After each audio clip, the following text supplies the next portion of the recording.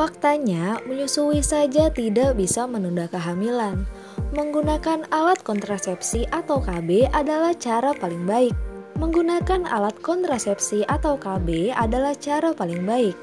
Namun masih banyak yang bertanya-tanya apakah konsumsi pil KB atau menggunakan KB bisa memengaruhi produksi ASI? Benarkah KB dapat mengganggu kelancaran moms menyusui? Simak penjelasannya di video ini ya moms.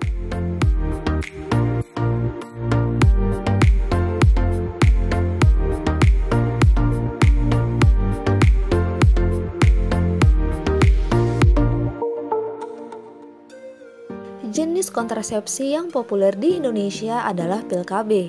Kontrasepsi berbentuk pil mengandung hormon sebagai pencegah kehamilan.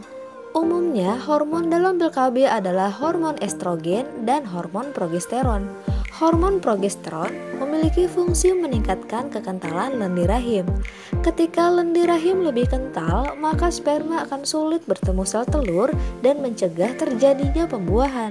Sedangkan hormon estrogen berfungsi mengendalikan siklus menstruasi dan mematangkan sel telur hingga siap dibuahi. Namun pada pil KB, hormon estrogen ini mengendalikan siklus sehingga tidak terjadi pembuahan. Apakah kedua hormon ini memengaruhi produksi ASI? Ternyata jika dikonsumsi bersamaan, produksi ASI juga bisa berkurang karena hormon estrogen dan progesteron.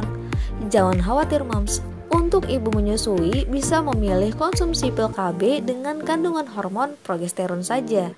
Mengkonsumsi pil KB dengan hormon progesteron tidak menghambat produksi ASI. Pil KB juga tidak akan memengaruhi kandungan ASI maupun menyebabkan diare pada anak.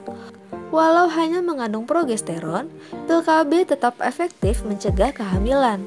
Maka, produksi ASI menurun karena pil KB itu mitos moms. Penyebab volume ASI berkurang bisa karena stres sehingga hormon oksitosin dan prolaktin berkurang. Berkurangnya oksitosin dan prolaktin yang sering disebut sebagai hormon bahagia kemudian mengurangi rangsangan produksi ASI. Maka untuk mengatasinya, moms bisa konsumsi suplemen, makanan sehat, serta menghindari stres saat menyusui.